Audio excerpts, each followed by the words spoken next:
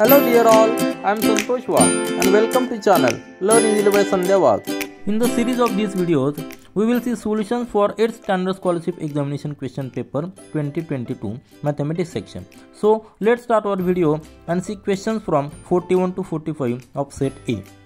See the question number 41. The coordinates of the coordinate of point P on a number line is minus 3 upon 7. The distance between point P and point Q is 2 units. Then what will be the coordinate of point Q? Choose two correct options. Means here you know what is the number line? This is the number line like this. If this is 0 on this axis on this there will be plus and in this direction minus isn't it so if this is 0 if we consider that 1 unit 2 unit 3 unit like this and here in the negative direction minus 1 minus 2 like this. But point p's coordinates are given.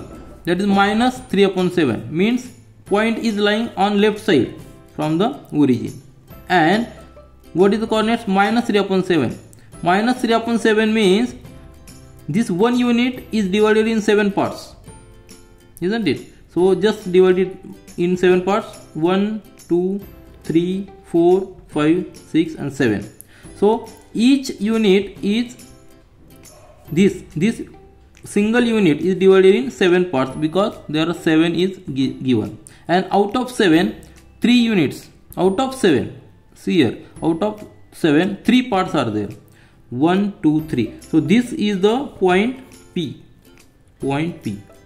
Whose coordinate is minus 3 upon 7 minus means in the left side of this origin. And 3 parts out of 7 of the first unit isn't it? So this is the point p. This is the point p. Now what is said? Point q is distance between point p and q is 2 units but it is not said in which direction. So it may be on right side or it may be on left side. So just go 2 units in the right side and also in left side. So we will get two positions for point q. In the first case just go in the right direction. That is how many units? 2 units. Now see here this unit is divided in 7 parts. Similarly we have to divide these units also in 7 parts. From 0 to 1 0 to 1 that will be the 1 unit. And these are the 3 parts. We require one more. We require 7 parts total we require 4 parts additional 4 parts to complete 1 unit. If we divide this also 1 2 3 4 5 6 and 7 in 7 parts then now see to move 2 units 2 units. In 1 unit we are making 7 parts. 2 units means 7 14 parts isn't it? 14 parts. So just move 14 parts from this point in the right direction there are 7 parts in this unit. Then 7 plus 8 9 like this. Just calculate 1 2 3 3 plus this 7 10 11 12 13 14 so this this will be the point. Q point. Q point. This is the one position of q point. Now see what are the coordinates of this point? These are in positive direction. Now just calculate here 1 2 3 plus this 7 means 10 11 12 13 14 14 parts we are moving from this point to this point. So this is this is the coordinate of this q point. But what is the actual value? From 0 0 to 1 there are 7 parts. Then 8 9 10 11 so here will be 11 upon 7 isn't it this is one method. And other point which lies on the left side 2 units similarly. Similarly calculate this 2 units from this point p. 1 2 3 4 4 plus 7 11 11 then 12 13 14 isn't it? Because we require to calculate 14 parts. 2 units means 14 parts. What is the coordinate of this point? This is minus 2 isn't it but how many units are there? How many units are there? From 0 1 2 3 4 5 6 7 7 plus 7 14 15 16 17 so here will be minus 17 upon 7 so this is also point q. So which are the options? 11 upon 7 and minus 17 upon 7 so first option and second option. This is one method now in second method we can directly calculate the coordinate. how to calculate? We know the coordinate of point p is minus 3 upon 7 then just add 2 units here. We will get we will get required answer. That means here minus 3 plus 14 upon 7 that will be equal to 11 upon 7 this is simple method. And other point means minus 3 upon 7 minus 2 units. Add plus 2 minus 2 that will be equal to minus 3 minus 14 upon 7 that will be equal to minus 17 upon 7 so we are getting the same answer but this is the basic method to clear your concept where the points are located on the number line. See the question number 42 radius of circle with center o is 10 centimeter.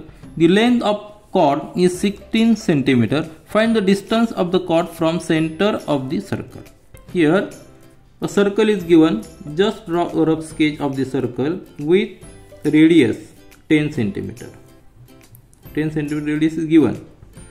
10 centimeter is given. So radius is 10 centimeter. And what is asked? A chord of 16 centimeter. Length of chords of 16 centimeter. Let's consider this chord of 16 centimeter. Because radius is 10 diameter is 20 this will be the 16 centimeter. And find the distance of chord from this center O. So minimum distance we have to calculate. So let's draw a perpendicular here. Let it point be A. We have to calculate distance OA let it be X. Now it is a if we join this if we join this let it be B point. Then this will be the triangle. Right angle right triangle triangle. Isn't it? This point O this point A and this point B. Now we have to calculate this distance x. We know OB OB is the radius isn't it? So it is radius is 10 centimeter. And now total chord length is 16 so it will be 8 and 8 so this distance uh, A and B will be 8 so this is the Pythagoras with the help of Pythagoras theorem we can calculate x x equal to square root of 10 square minus 8 square that is square root of 100 minus 64 that is square root of 36 and we got x equal to 6 so 6 centimeter is our correct answer which is option 1 See the question number 43. A hall has length 30 meter and breadth 9.5 meter. For flooring this hall, the square tiles are to be used of half meter size. Then how many tiles should be required? Here we need to calculate the area of hall, isn't it? Area of hall that will be equal to length into length into breadth that is L into B. Length is given 30 meter, breadth is given 9.5 meter do not make the calculation. Just keep as it is because it becomes very easy for our further calculation. Now tile. Area of tile is area of tile which is used here for flooring that half meter side means 1 upon 2 into 1 upon 2 isn't it? That will be 1 upon 4 isn't it? Now number of tiles will be just divide this area of tile to total area of hall. That will be the number of tiles.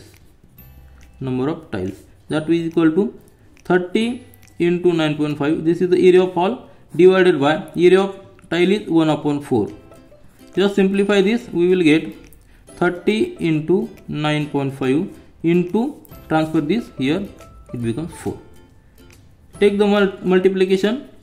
Multiply 9.5 with the 4 then we will get 30 into 5 into 4 is 20 then point here then 4 into 936 plus 238 plus then further multiplication 30 into 38 that will be 0 8 into 3 4 uh, carry over 2 then 3 into 3 9 9 plus 2 that will be 11 isn't it?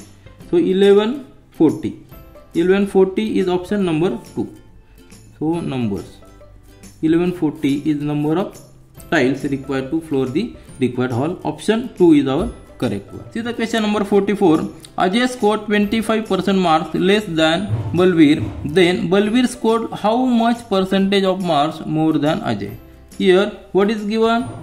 Percentage marks of ajay which are less than balbir now for our convenience let's consider the balbir marks as 100 so let's consider consider marks of balbir marks of balbir as 100 why 100 because it becomes easy. Then if balbir has a 100 marks then ajay will have 25% less. Means ajay marks will be 75 isn't it? Ajay marks will be equal to 75 because it is less than 25% isn't it? Now we have to calculate how much percentage marks are more. How much percentage is us? Here we know how many marks are more. 25 marks are more. If we consider Balbir as a 100 marks then Balbir has 25 marks more. There is one more option 25 but it is not correct one because it is in numbers. So marks here marks so marks which are more which are more for Balbir are equal to 25 but it is it is not percentage it is numbers. 25 numbers are there because we consider Balbir's mass as 100 we have to calculate in percentage. Now how to calculate percentage?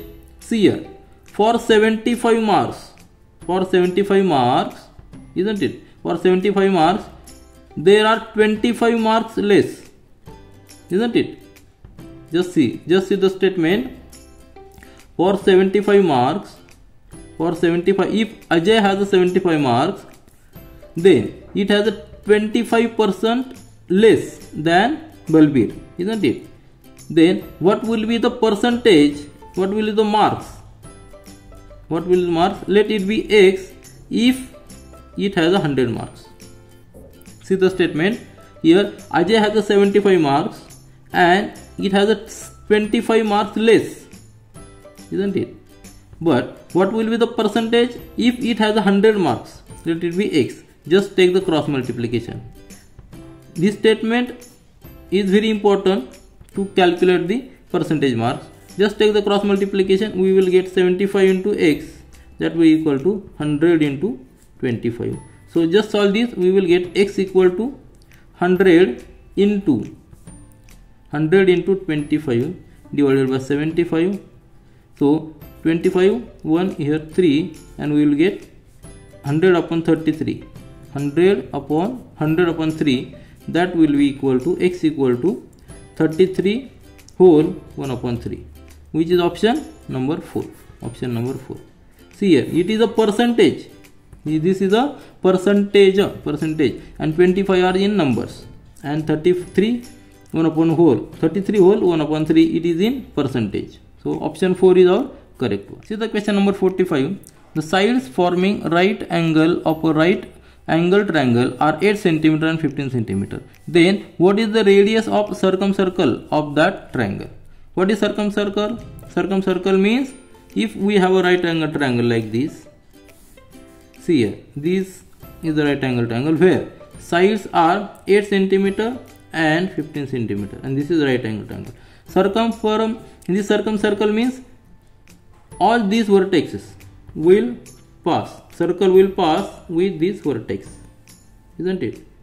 This will be the this is simple right this this is for our assumption. So this will be the circumcircle of this right angle triangle. This circumcircle always passes through all three vertices of triangle. And it is this this center so center of the circle it is center at a point where all the perpendicular bisectors of sides. If all these three sides if we take the perpendicular bisectors of these three sides then all these three perpendicular bisectors meets at a single point and that is the center of this circumcircle. And for this right angle triangle property it always lies on this hypotenuse on this side. So if we calculate this side we can get the radius of this triangle. And for this right angle triangle use the Pythagoras theorem we will get let it be x. So we will get x equal to square root of this 8 square plus 15 square. This is simple formula. Then 8 square is 64 15 square is 225 here is total is total is 289 and square root of 289 is 13 and uh, 17 17 centimeter. Now total diameter is 17 centimeter. So radius will be half of this. Radius will be 17 upon 2 that is 8.5 centimeter. So first option is correct. This is all for this video. Thank you